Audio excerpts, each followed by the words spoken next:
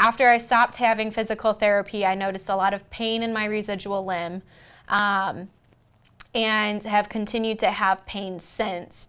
And asking if physical therapy was preventing the pain or if there's something else going on and if they'll always have to deal with pain.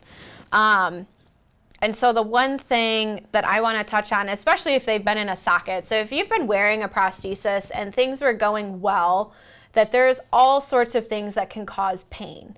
Um, but especially early on, so when you're doing physical therapy, that that limb goes through so many changes, especially in that first six months to a year, that volume's changing, the limb's starting to stabilize. And as we have those fluctuations, we have to manage that in the socket. And so with a socket, we are limited because it's made to fit you at a specific moment in time. And so our bodies fluctuate throughout the day, day to day. And as we're managing those volume fluctuations, we're trying to make this thing that was made for one moment in time fit you throughout all of those different volume changes.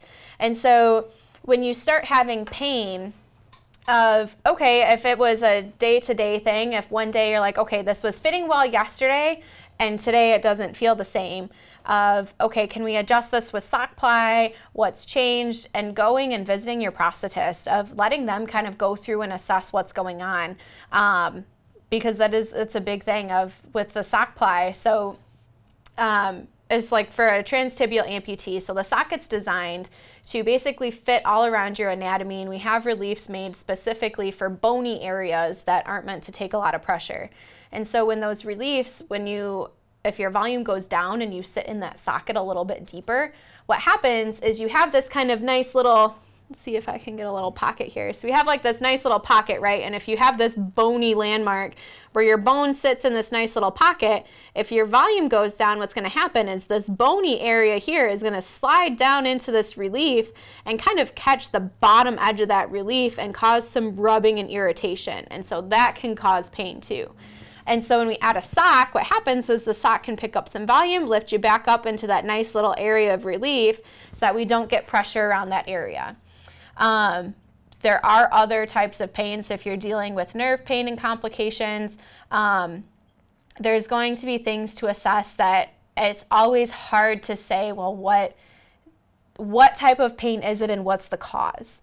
Um, so working with your prosthetist, and if it doesn't seem to be a prosthetic fit issue, of talking to your doctor also um, to see what their recommendations are of trying to get to the root cause of that pain. But if you went from a period of not having pain to having pain, of okay, let's try and address of what's changed since then, um, and see what adjustments can be made to kind of get us back to where you were. Yeah, you shouldn't have to live your life in pain, which is what that patient was asking, kind of seeing if she's going to be in pain forever. So, yeah, and that's happened like when you're in therapy, they're teaching you how to walk right and working on the muscles to help you walk correctly and uh, balance yourself and do all those things. And then the second that you're not doing therapy, you're probably not being as active.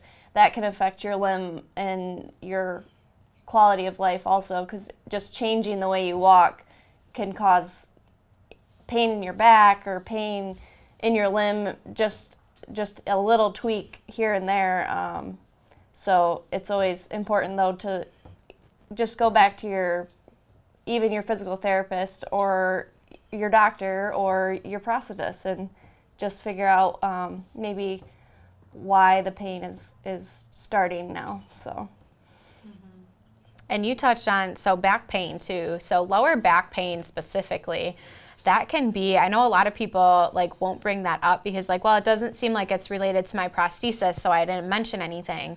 Um, but making sure too that the height of your prosthesis is correct. And so what happens is that if the prosthesis is higher or shorter, then your pelvis isn't level. And so then that can cause your back to kind of overwork to compensate for that and can cause a lot of lower back pain too. Um, so making sure that everything's kind of aligned properly, that's fitting, it's fitting properly. Um, so when you start having pain of making sure that you are following up with your prosthetist to make sure that everything, um, the alignment is great, that the socket fit is appropriate, um, and that the height's correct. And so there's all of these other factors that um, can really affect your body and play a larger role than we even realize sometimes. You answered the questions perfectly, you know, that they would their residual limb would change over time.